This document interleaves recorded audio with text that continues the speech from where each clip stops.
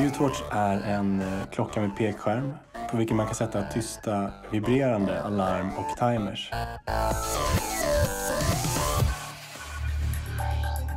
Idén till Mutewatch föddes i problematiken med att par som sover i samma rum ofta väcker varandra på morgnarna med deras högljudda alarm. Vi ville skapa ett alarm som bara en person vaknar av, utan att störa den andra.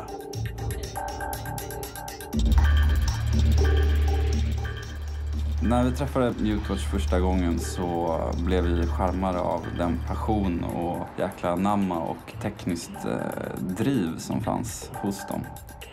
Slutresultatet skulle vara någonting som, som alla var väldigt stolta över.